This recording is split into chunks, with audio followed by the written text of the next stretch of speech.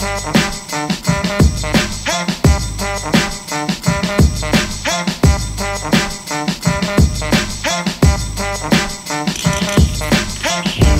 I ain't even into being curt, dude. But my hair blowing up like I'm the Kurt, dude. And my friends getting hung up like a shirt, dude. Now they ain't the only homies fucking with the Burd, dude.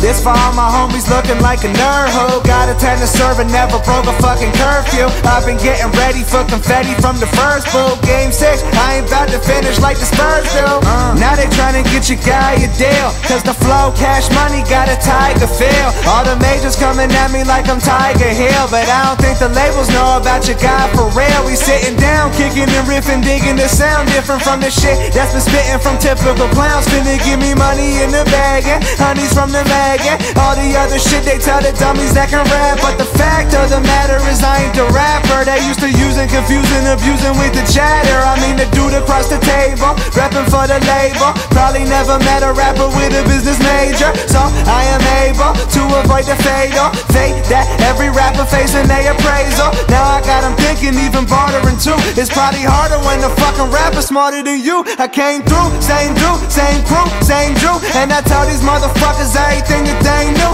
You ain't new. I'm about to get a Grammy and lead. Michael Jordan in my jeans since I've been 23. Except I ain't ball playing it all, saying the game. He played it wrong, made the songs for the last cause funny was the path, but now I really wanna fuck these dummies in their asses. Practice, tell me I ain't climbing up that rap list. I bet a lot of fans will listen to this if you'll catfish. Damn, where the dicky that I used to know, the goofy flow. My dude, where the humor go? Well, truth be told, I put that in a movie show, a musical. But now I'm in the studio, and dudes in the booth knew that the juke can flow. And if you listening to this shit, you should know I'm too cold in this bitch? To be acting the clown, fucking around. If I wanna get my hands on the crown, I'm getting down, letting the smile be set to a frown now. The kid up from the birds about to settle in downtown, but maybe that's a bad move. Maybe I'm a fucking pussy if I'm letting people tell me what I can't do. Maybe all these rappers wanna wear the same shoes, get into the game and never playing cause they can't move. Now I'm thinking, what would Jordan do?